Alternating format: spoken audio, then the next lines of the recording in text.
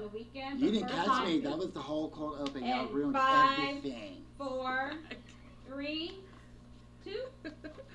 What's up? It's your girl Now Kia, it's and just welcome to Mocha in the Now Morning. it's just lukewarm. Wow. I'm sorry it's lukewarm, people, because my first time in the big adult chair, and I'm not exactly sure how this is supposed to picture. go. I'm loving your fashion. Can we get like an up and down on this? It's Thank very you. I love it. Thank you. How are you? I'm just like family show. You're giving away all the brew. Okay, and, and introducing our Cafe con Leche Jorge. Hi everybody, how are you? Did everybody have a good Memorial weekend? How was yours? No, but your hoop earrings make me want to play basketball. A, hoop? I love that. I'm trying to give like 1990s Banjee girl. Like that's what I'm. That's what I'm doing with the big hoop earrings and all the color and stuff. I love it. Goodness. I love anything big and round and with holes in it. Good whole. See, I don't even know where to go with that. Nope, we'll be right back. We'll be right back.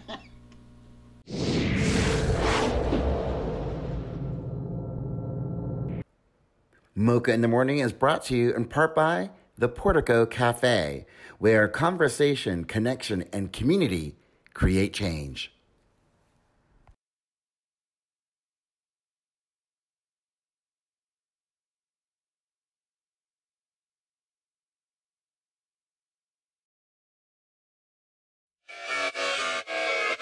Three, two, one, drop.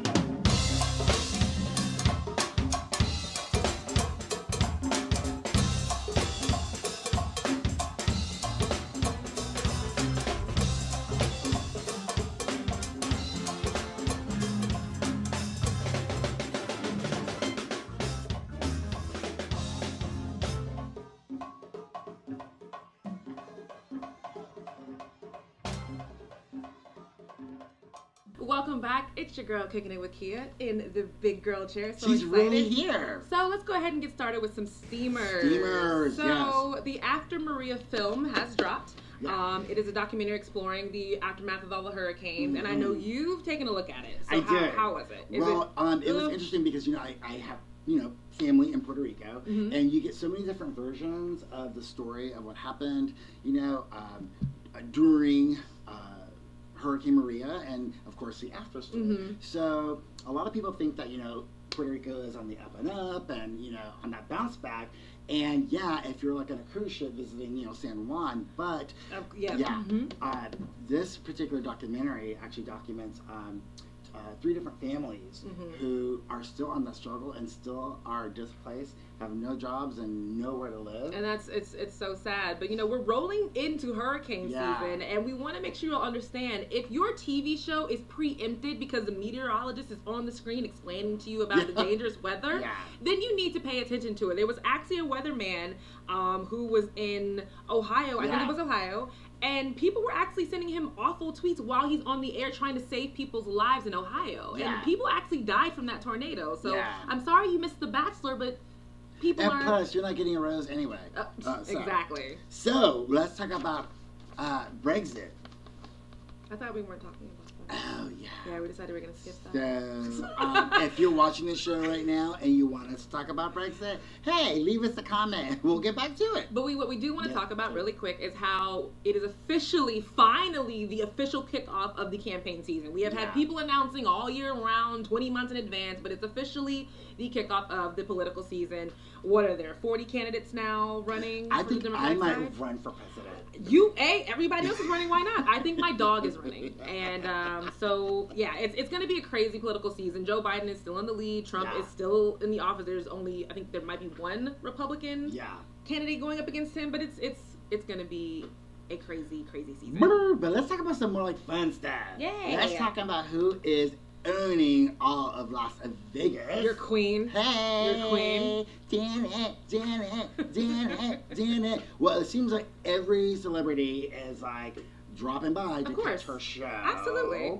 Uh, not to mention Beyonce and Kelly Rowland was up in their VIP dancing and singing. We got the receipts. I mean, this is Janet Jackson. I mean, think about the catalog of music this Yeah. woman has. We're talking about 20 years worth of music she has to put out. So I, I honestly, if I had the money and the funds, I would be like the first one there in VIP front row doing this. So congrats to her. She's really had a good bounce back after this Oh divorce. my, she's she's so winning. She really is. And I just think she's just doing it because, like, you know, this is her thing. She really, like you, you just she's loving it, and the gigs keep coming, and like I just love to see the all the other celebrities. Like I mean, Gabrielle Union was there, Johnny Gill. It's a Beyonce, sign of respect. Kelly, That's what it yeah. is. It's a sign Tank of was there. respect He for brought his whole icon. family. you know. Absolutely. Every- it was really really awesome. But not everybody's having fun in Vegas. I guess Meek Mills is, is not really having a great time. I guess he got mm-hmm. Kind of kicked Yeah. out of the club because of capacity. Yeah. He thinks it's racism. It could just be capacity. Vegas is a crazy place. They don't really care about your race. They care about the money. So maybe he's flashing up at the door. Yeah, how you gonna hate from the outside of the club?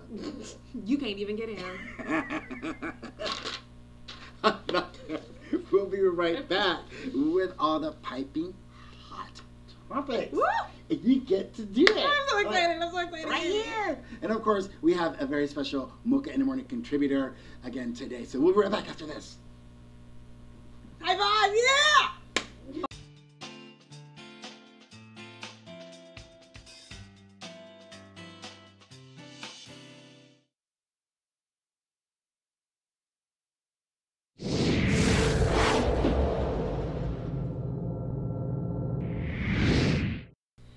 Welcome back to Mocha in the Morning. I'm your girl Kia, and it's time for some piping hot topics. Woo! And we have a wonderful guest here. Look at that. I don't know what I'm gonna do. I'm surrounded by all this like it's like this, I feel like I have a box of chocolates in front of me. Oh, very nice. But we have Elle Edwards here from the All Tea All Shade podcast. Alti, no shade. No See, shade. I like I'm Palm all- trees yeah. already. Oh my gosh! See, Palm already. and we both practiced this like five times, and still I managed to get it wrong. yeah, I already know how this works, how this goes. And as usual, we have our other favorite um, contributor, Miss Jen Dobson. How you doing, girl? Hi. I love you in blue. You look so good. Thank you. So I'm gonna need you, Jorge, to start off with this first topic. I you- love it. I just I was waiting to see He just what, looked at her watch like, what happens I'm looking at the morning. Like it's different when like you're like on set It's and in front of the cameras and like you know you're in the comforts of your own home or your office or It's like, different. calling you know it's just like I'm I was waiting to see what's gonna happen. I can't with him. so no, actually, thank you so much for joining us. And uh, this is kind of sad because like we're wrapping up you know, our season because, ooh, Lord knows we need a break. Yeah, summer break. And um, and we're gonna show you a picture of all the fashion that's going on right now because it's like, like really cute. But we're gonna keep it at a medium shot today. but anyways, um, yeah, there's a lot of piping hot topics that we're gonna talk about. The first being is um, Netflix and how they are standing with women. And so I'm gonna let the women handle this. Okay, so what they're saying is. Oh, no. Let the queen go first. Go ahead. Oh, Yeah. yes, let's go. no, I will leave it to the people who can have babies. Go ahead. Well, I think it's impressive. I think it's. I mean, Netflix doesn't have to come out and say anything, um, so they could have remained quiet. I wasn't. I didn't. I wasn't realize how much things were shot in Atlanta. Like Black Yes. Panther was shot in Atlanta. Yeah, It's like the Hollywood of like the South. It Yeah. really, they really do call it the Hollywood of the South, and it's not just Netflix who is backing out. A lot of production companies are saying, "Hey, if you're going to do this, and we don't need to, to film here." So it's it's going to have a big deal. So Jen, could this have a big issue on Georgia for finance reasons? Yeah, I mean, definitely. Anytime you know a state does something and not think about the long-term repercussions financially, it's going to hurt them. They didn't even think about it because they're more concerned about their old ideology of what's right and not right and all of this stuff. But financially, if Netflix backs out and some of these other big companies I saw, like um, Jordan Peele and all of them, were like, "Look, we don't support this. We believe that women have every right to choose." If they all back out, Georgia is going to lose a ton of money. So Absolutely. And you know what? If Netflix and production companies are backing out, but what people don't know, some people may know this, but the main Delta hub is in Atlanta. So if Delta backs out, if they oh. say, "Well, hey," and they we're gonna move our hub because of this, that could be a huge deal. That's hmm. huge. And Atlanta, I think they have a 30% credit for businesses, so they're actively trying to get businesses to come to Atlanta for Hollywood purposes. And so they've kind of shot themselves a little bit in the foot because there's also actresses who have been going off on it. Yeah. Um, so actress Milla Jovovich and actress Jameela Jamil have all been sharing their stories of you know their abortions that they've had, and a lot of actresses are and actors are sharing this, and it's affecting everybody. Yeah, really, really and I don't think states are really processing that this is a huge deal. Yeah. No, it's. Well, anyways, um, speaking of Netflix and doing the thing, Wanda Sykes' new special on Netflix. I love. Not normal. You have to, have to, have to watch it. I She's loved it. hilarious. I haven't seen it. It's oh, it's hilarious. I'm the guilty one. Yeah. It's really funny. Okay, wait. Can I ask a question? Sure. Yes. Do you like Wanda Sykes comedy normally? Yes. Well then, No. no. No. See, no, no, no. I'm with you. I don't normally like No. her her comedy. I, this is the first special I've watched where I've been like, oh, she really is funny. Because normally I don't find her funny. That- okay, well maybe I'll give it a try because I don't think that she's that funny. I I, think think, the struggle is so real for her. so? But wait, wait, wait, Jen. What what do you think? Do you think she's uh, funny? Look, it it was so good. Okay, mm-hmm. I watched it and I was done. Like when she comes on stage and the first thing she starts talking about is like, "Listen, if you voted for Trump, that is your first mistake. If you came to this show, that is your second mistake." Hilarious. Okay, it was it was funny the whole way through. So I give her mad props. Like I died the whole night. Like it was funny. What, what I thought was great is that she took some very volatile political issues Mhm. and managed to kind of remedy her comedy around it where I mean she had a perspective, a message, Yes. it was comedic, and it wasn't like you felt like, oh look at her, she's just going in, da, da, da, da. No, and then she made it sound um, you know, like this is her everyday life. It was relatable. when she talked about her her comedy life her special was kids and relatable. stuff like that, and That's something I feel like a lot of comics are missing. I mean, Kevin Hart, uh, to me, he's, he's starting to be not relatable anymore because a lot of his stories are a little like, oh, in my big house seen and this and that. Really? He was in Soul Plane, right? no, don't don't do that. Don't don't go Really, back to Soul Jorge? Plane. Really, Jorge? we gonna take it all the way back to Soul Soul Plane. Plane. We, we we moved we moved off. We are changing subjects. I'm just not a huge ally of his. All right. Well, it is Mental Health Awareness Month, Yes. and Yes. Kanye is actually speaking out. He actually did an interview with David Letterman, kind of having a little bit of conversation about mental health and his mental health situation. But I really don't feel like holding up Kanye as the mental health spokesperson, so I'll let the other two people here talk about that. It's hard. It's so hard. It's Like- hard for me to try to navigate. Like, is Kanye being like truthful? Or is he being commercial? Like, I never know what his agenda is. I'm so confused, and and I really want to know. I don't think he knows his agenda. I like just- I don't think he knows. I just wish he going was like stronger. I don't think he knows. his message. But his experience, because again, he's coming out because apparently when he was having his mental health situation, he was actually handcuffed to a bed, and of course that can be cruel and unusual punishment for someone who's who's having mental health. And the hospital claims they're doing it for safety reasons. Mm. But you know, Jen. still still doing that to somebody, it's, it's a little bit hard. Do So Jen, think- what do you think? Is he, is he stunting and showing? No, the Kanye is a hot mess. Okay. So, I mean, I learned a lot about his mental health issues and the fact that, like, you know, he had to be, like, basically constrained and all of this stuff. Like, a lot of things that I didn't know about his situation.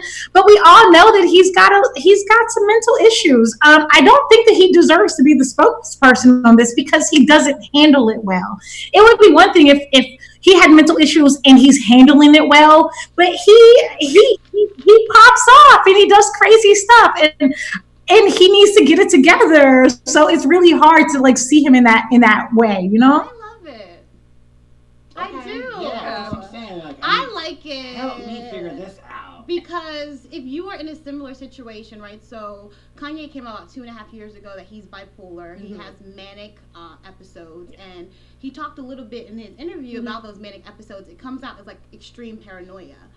And so he has these huge upsets, but then you also see him where he's calm, he's relaxed, he's got his life situated. And to me, that's more relatable, right? Because Mhm. he's a real human being, right? If you have mental health issues and um, you're the spokesperson, but you never have any Like breakdowns or meltdowns. yeah, you don't ever see any Display. fluctuation. It might be hard to relate if you're going through a situation, right? But if you are somebody who has kind of some kind of mental issue and you see that he's struggling with it, then you don't feel quite as alone. I would say. And we've talked about this in the show um, about me and my attempt to commit suicide. When I woke up from coma, I was taped to the bed. yeah. And apparently they don't do that because you're going to hurt yourself. They're trying to keep you from pulling cords out. So I don't know if he had maybe lapsed into a coma or passed out and they were trying to keep him from harming himself or pulling out cords. Well- but that's why they told me that I, I was literally stra- like taped to the side of the bed so that I wouldn't um, touch anything. And he was involuntary. So I'm sure. That's different. That's handcuffs. She's right. That's Yeah, handcuffs. he That's he handcuffs. he was put in the he was held involuntary, so that's why he Yeah, had that's handcuffs. handcuffs. Well, So I, I hope it all works out for him. But they say usually the most creative people and Yes. artistic people, you know, He kind of said that. He said, "You want the crazy music, you want the crazy ideas, you want this next level thinking. Well, sometimes all these crazy things have to come from a crazy person." and those are facts. And- Those are so- absolute facts. He's eight months off his meds though, so Yeah. oh, all right. Ooh, that's a lot We were we were so close to being on his side about that. until that. Oh, Okay, okay. so we're gonna move on to the next topic, and this is kind of keeping along with the Mental Health Awareness Month, and that's about Lamar Odom. He has penned a memoir called um, Darkness to Light, and it's really about his relationship with Khloe Kardashian, his relationship with his mother. Um, how he kind of got into being an addict and where he is today, and it's a really, really good um, story. And I think we have a clip of that right now. It's really a story of triumph and over, overcoming obstacles over a lot of tragedy. and tragedy, overcoming tragedy as well. that I I have a whole different perspective on him now. Do you? Oh, Ow. girl, don't start. Do you? Do I, you have a different perspective on him? I do. What's changed? He's always been known for not being the best.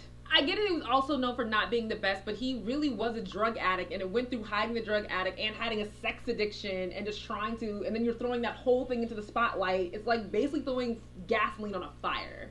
Yeah. What is it about the Kardashian family that like it's something's either uber I successful could make a joke. or uber tragic? I think their vaginas are literally the sunken place, but that's just my personal opinion. So um, mean. Jen, what do you think, real quick? So mean.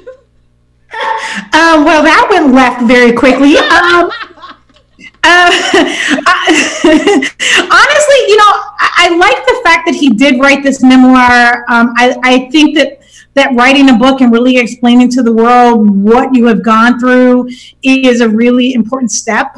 But at the same token, I still feel like he was a really horrible husband and he wasn't the best person. And he almost allowed his fame and, and, and you know, being married to a Kardashian to, to go out and kind of throw his life away. So, I mean, I don't give him any brownie points for writing the book. Although I do appreciate the fact that now we kind of get to know a little bit more about him. Uh, But, you know, no, I never gonna liked lead me to- I don't mean to cut you off, Jim, but that's what's leading me to like my question here is kind of like, did anyone ask him to write a book? No. No. Like, who at all? Not one they don't damn even know person. who he is. Like, what is? She's like, what is right. the point of all? Like, I don't like. I think What is the point of all that? Like, what? I don't really care about this man. Like, I don't want to know. The About point is for him to make a No, couple no, million no, I think you dollars. and I are on the same page. So Yeah. I think he's actually trading on his ex Kardashian connections, right? because if yeah, he was that's what it not, like. everyone always says the Kardashians use the men they're in with, and when actually it's the reverse, right? Because Ah. he's using the fact that he was connected to Khloe, he has that Kardashian connection to now have this memoir.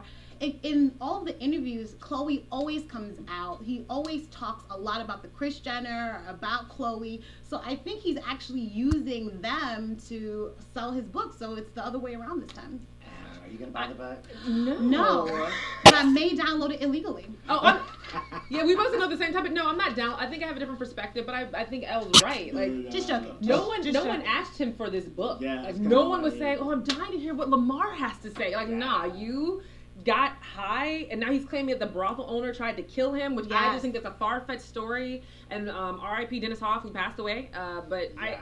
is- some of the story just Well, sounds. you know, if you watch, if you watch, if you watch the um, uh, oh goodness gracious. You got it. Yeah. It's coming. Yeah, it's, it's It's coming. there. It's here. Right. If, if you watch uh, Game of Thrones, Yes. right, like you'll know that some crazy stuff happens in brothels. I'm only, This is true. I'm only on season six, so I'm trying to catch up. Girl, I wait, you wasn't a lot of brothels. Sorry, I'm. I'm You got it. I was like, girl, Okay. It's okay. you missed season one through five. Brothels, harems, all that lead us to our next piping hot topic. Okay. oh, that's a horrible segue. What a segue. Yes. We can't do her like that. That's not quite a magical carpet ride, is it? No, my god. Okay, so before we get in trouble for cultural insensitivity, um, the movie Aladdin came out this weekend and it's getting a lot of great reviews, but it is getting a little bit of criticism. People are saying that the movie has been whitewashed, and basically meaning that instead of having people who looked a little bit more Arabian, which is not a thing, but a little bit more Persian, a little bit more Indian. They look more European with dark hair and Well, dark they say that the bad guys look more like Arabic, and, but then like the good guys, like the princess and Aladdin and stuff, have more like Western features. European features, yeah. Okay, so oh I'm gonna Alright. say something really messed up that I feel like you are everybody's gonna agree with me about. But doesn't Tyler Perry do the same exact thing in his movies? Isn't the good guy the light skinned guy and the bad guy the dark skinned guy? And why can't Madea be pretty? Well, I. L. Can we all take a moment of silence for Jorge and his Madea question? We're so sorry that Medea. Okay. Yeah, we're sorry Madea's not pretty. Anyway, go L. Yes. I mean, I think it's kind of just a little insane. I mean, they actually went and consulted um, Middle Eastern like consultants and Muslim consultants to make sure that they were actually being sensitive, right? So it's not that they went in willy nilly. It's not like a black person or a white person all of a sudden playing Cleopatra, right? It's they actually casted people of Middle Eastern descent. But I do see what the article was saying, or what a lot of the commentators are saying, is that the the darker, the more visibly Middle Eastern, right? People are tend to be the the bad guys, and the good guys, while they are you know Middle Eastern, they all are fairer featured, right? They have more European um, esthetics Mhm. and so I get They the all argument. speak proper English. Right, I Oh, get yeah. the argument both ways, but I don't know. I, I, I'm- I kind of fall on the fence with this one. What about you, Jen? The- Yeah, so historically, this has been a problem. Like, this isn't the first movie, this is like every single movie ever. So I'm like, I'm not surprised. Like, why are we surprised? We could go back and watch almost every movie in America and find the same thing where it's darker skinned people are the bad guys, mm-hmm. lighter, more European, better English speaking are the good guys. It's always been that way. And it's unfortunate because even though they did get consultants, you have to understand that those consultants still have those self images all of us do even black people have self images of darker skinned black people being bad guys and believing that black people and dark skinned people are bad guys because it's always been perpetuated on us historically so it doesn't surprise me i, I haven't seen the movie so I, I don't know for sure So here's- but i'm sure that that's what's happening Absolutely. And see, here's the bigger conversation that we all need to have. Is it Hollywood or is it us? Mm, Is it the cultures? Right. right. Is it the Latinos? Is it the black people? Is it the Middle Easterners that are saying, oh, dark is bad, curly hair is Yep. bad, Right. braids and dreads are not professional? Who's are, is Hollywood is following how we are reacting?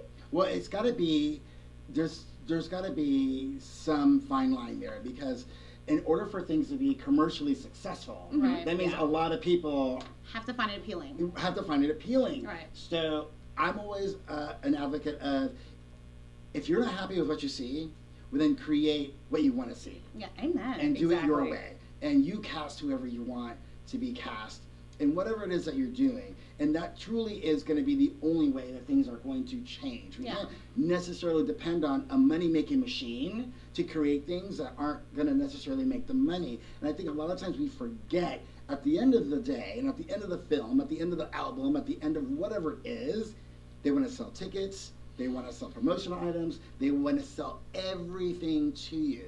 So they want to sell it to the biggest market. And I feel like what we do is a perfect example of that. We haven't seen ourselves in a lot of things, so now we create our own platform where we see people who look like us or do There you what we do in Jen's situation. Yeah. So, you know, I, I agree. I, I actually haven't seen the movie, but I have seen a lot of the promo, and, you know, we have to get to a point where we have to have the bigger conversation. It's so. weird because I, I want to play devil's advocate a little okay, bit. yeah, All right, can I do that? Absolutely. Yeah. All right. We always, and I always say minorities, colored folk, right? We want to be represented more. And so when we do have opportunities like Aladdin where colored people are represented, the staff was primarily like Middle Brown. Eastern brown, Yes. right? And even in these films that we have predominantly brown people, we're still complaining about it. I mean, Oh, yeah. I think what we need to do is not complain necessarily about the fact that Aladdin is following uh, the same scheme or same uh, Game of Thrones, the same Right. wheel, right? Right, right. Right, That Love that that. has been happening. Yeah. We, like Jorge says, we need to create something to add in addition to it, right? Okay. We need both. So I'm Sean, going- give us a call so we can like. hash But I this have to go off script a tiny bit, and our producer is going to murder me. Oh God, here we go. She is. But didn't Spike Lee get in a little bit of trouble where people are saying like basically he's a sellout now, like for the kind of the same situation where he's kind of selling out to Hollywood just to make movies and make films. So isn't that the kind of the same situation again? Spike Lee needs to make a living and he needs to get paid. That's all I'm gonna say. I, So if mean- you're not watching Spike Lee and buying his stuff, don't worry about it. I just think sometimes we have a very narrow viewpoint on minority produced uh, content, right? So if this was, if Aladdin was a all white cast, if it was not steep, like if it was in Alaska versus you know somewhere in the Middle East, and it had some of the Eskimo? similar like. You know, similar things that we've talked about, no one would even question it, right? Right, it would be a non thing, right? There's so many Caucasian films where there's a bad guy, there's good guys, right? And the happy loved ever. I think we tend to be extra critical Mhm. about colored films. And Yeah. I think that kind of hurts us sometimes. well, speaking of African Americans doing great things and being where they should be, and I'm gonna let Jen lead off on this topic. It's the fact that in the 2019 graduating class at the United States Military Academy, there were the most African American women graduating. Dun, dun, Jen, dun, dun. what what do you think about that? I think It's really amazing. I for me, like just to see that many of us, you know, going through something that from what I've heard is so hard to do. And to see all of us doing it, like so many of us doing it all in one place, I think it was absolutely amazing. Like, you know, kudos to them for for that struggle. I couldn't have done it. There's no way. So, you know, mad props. Mm. I love anything in a uniform. So I actually have a friend, um, a mentor. She was actually one of the GMs for Walmart. Now she's the GM for J.C. Penney's and Bloomingdale's, and she's actually a West Point graduate. and She's an African American woman, so it means a lot when we have African American women or even anybody female graduating from these elite military academies. It's it's hard. It's amazing, and they're doing their thing. And if you look at, like, first of all, shout out to the black women who are representing, and making it happen, right? Especially in West Point, because 2017, the chief cadet, African American mm-hmm. woman. Uh, 2018, they had 24 African American women graduate. Obviously, to this 2019, they're expected 34, right? So we're con- they're continuously growing. They're continuously showing up and showing out, which is what black women do, right? Right, is what they do on this show right now. Yeah, Hey! absolutely. All right, don't mind if we do. And black women apparently are showing out all over the place, including Cannes. Film director Mati Diop, did I say that right? Yo, girl, do it. Mm. Yep.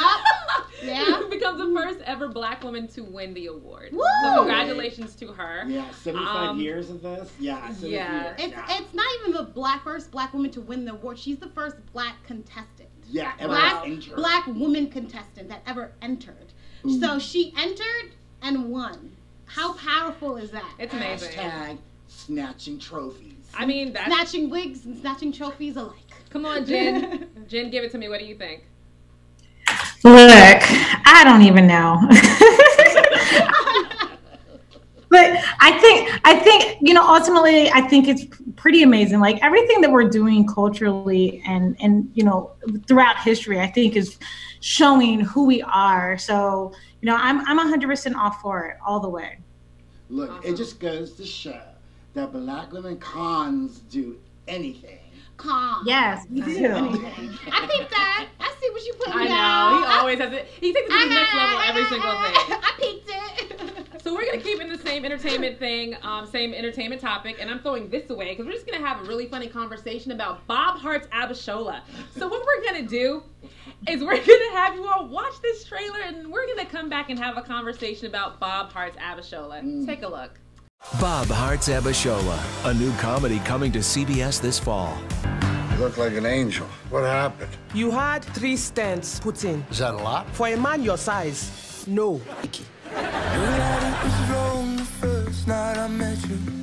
Oh, I was next door getting a checkup for the old ticker. I thought I'd bring you some more socks.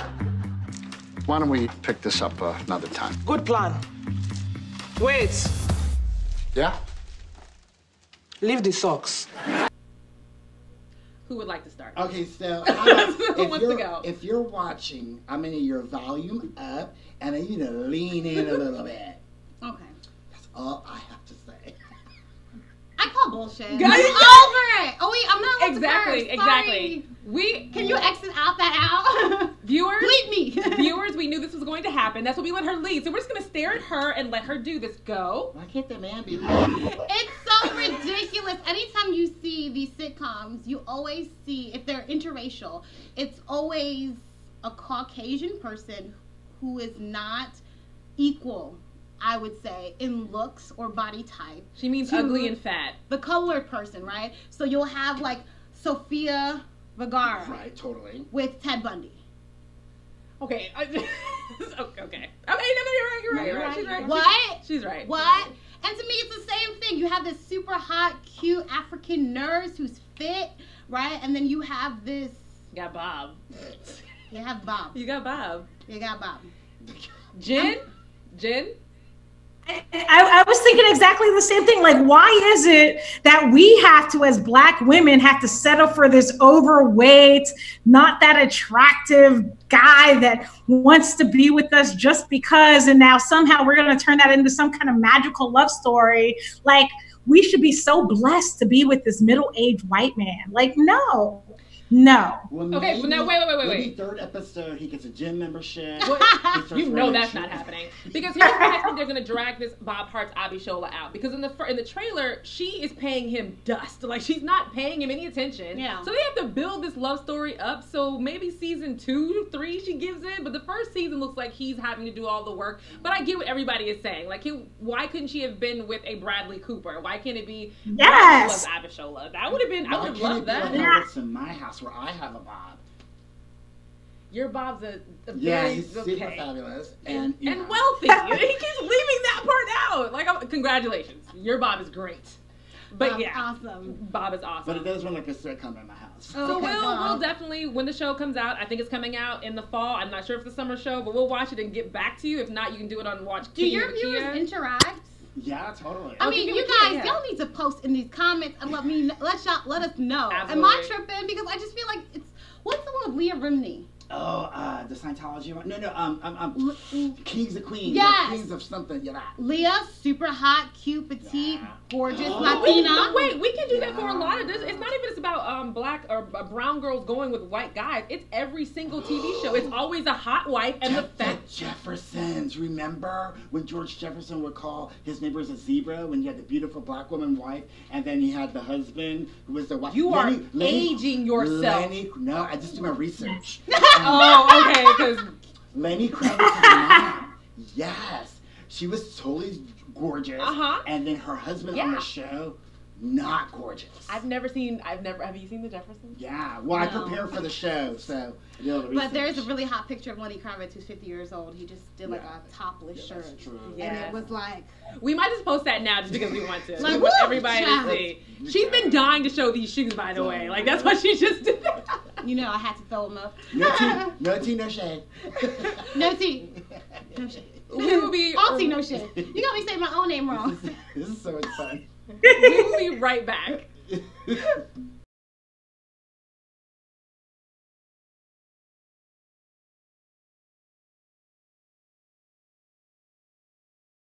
Moving on up.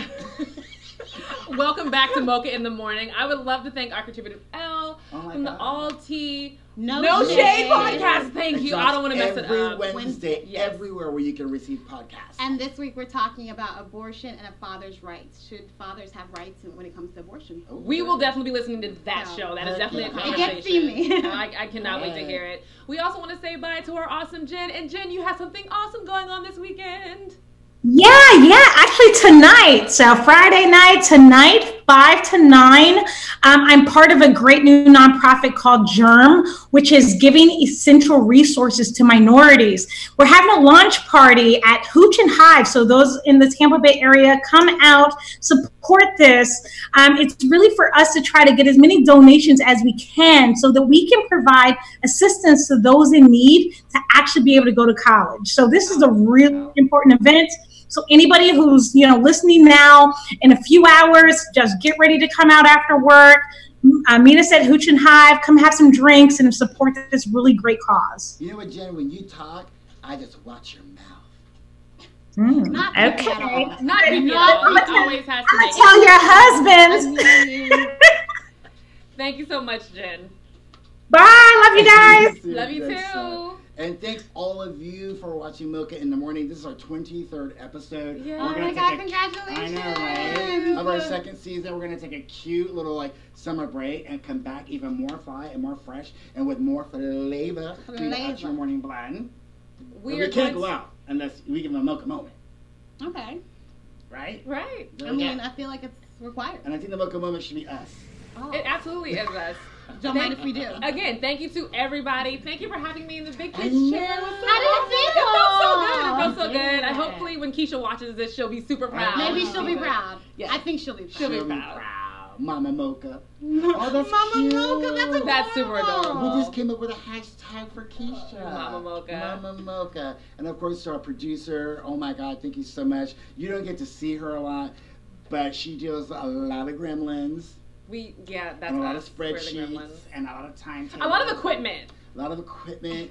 You know, handling all the guests and everything like that. Even touching me up every once in a while. I mean, just she you does all doing things. So thank you so very much, and have a wonderful summer. We will be showing YouTube. Oh my God! So make sure you follow Look in the Morning. Subscribe to our YouTube channel. We're going to be, um, of course, sharing all of our episodes, and, we're also going to share a lot of unseen stuff. Absolutely. And And Ooh, kicking what I it- want to see. And kicking it with, with Kia from the Mocha in the Morning show will still be happening over the summer. So you'll still get a little bit of Mocha in the morning. bit. You might, might even see some guest appearances. It's your little mocha fix. Mocha Okay. fix. Thank you. Bye. Bye.